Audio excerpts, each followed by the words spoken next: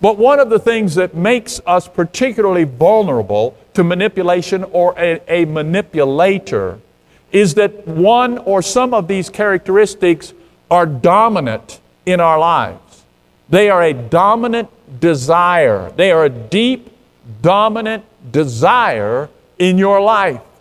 And because this is a dominant, powerful desire or need in your life, it makes you susceptible to manipulation. Let's go down through a, a few of them. First of all, a fearful atmosphere or spirit. We saw this take place, and I don't have time to, again, I wish I could, but just three years ago, we saw as this new created disease created in a Chinese laboratory swept across the world an atmosphere. I have never lived or existed in an atmosphere of fear. And, and it, was, it, it was and is a genuine disease. We're not in denial. It did end the lives of millions of people, but it created an atmosphere of fear. It was almost palpable across the nation. And it made us vulnerable and whole societies and nations vulnerable to manipulation and deception a fearful atmosphere or a fearful individual, a spirit of fear in your life, fear of man's opinion, fear of rejection. Maybe you've experienced rejection in your life and you, you have a fear of being rejected by people. Perhaps you have a fear of pain or discomfort. Or maybe you have a fear of the penalty of not going along.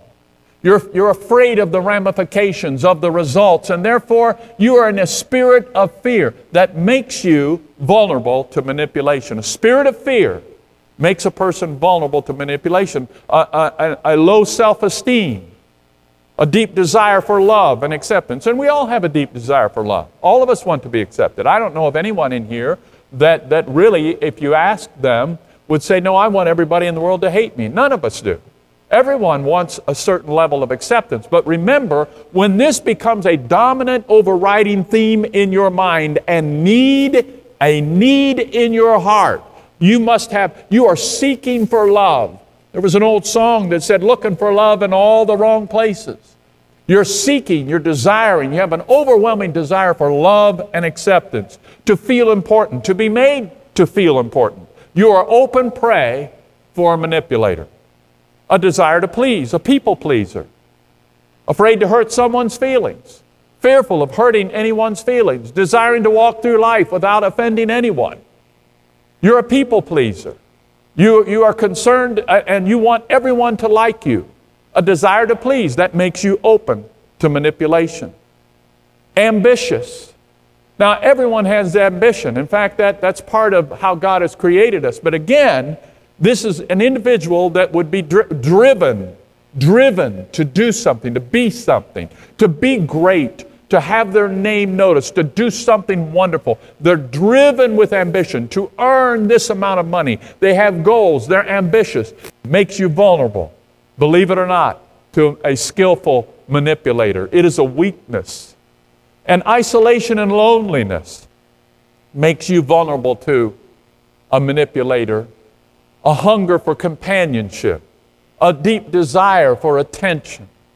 You're longing, you feel like no one really loves you. You feel like you feel like no one pays much attention. You're, we see that on social media. Social media has become a, a tremendous insight, a, a, a magnified camera into the lives of individuals. I am just astonished what people put on Facebook and on TikTok and social media. I am blown away how they are so hungry for attention, so hungry for someone to give them a thumb up or a like or a comment.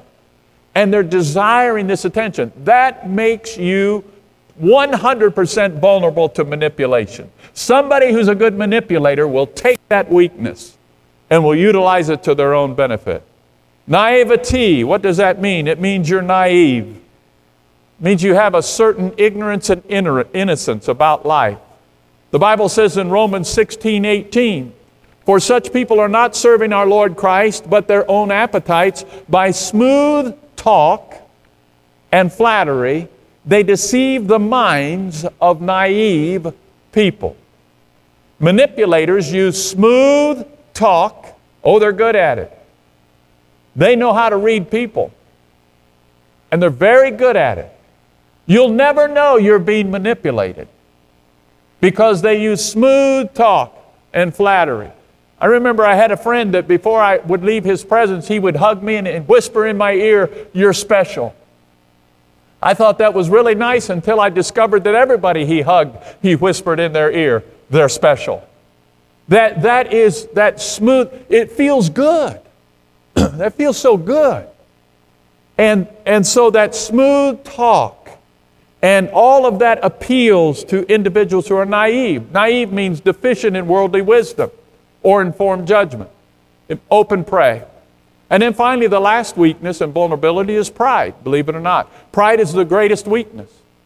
Because pride, like deception, is personally blinding. An individual who is proud does not know they're proud.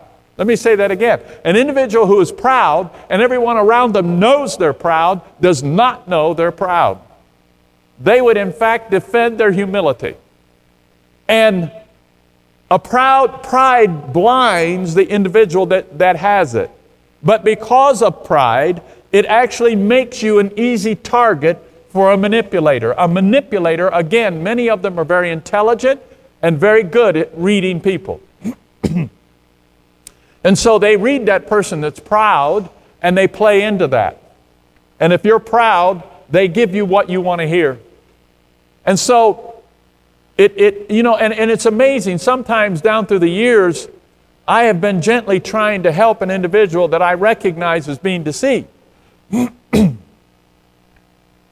I mean, it's very apparent. And as I'm talking to them, they keep interrupting me and they keep saying, I know. Oh, I know. Oh, I know. And I get to the point where I just give up. I think I can't tell you anything. You're not listening to me.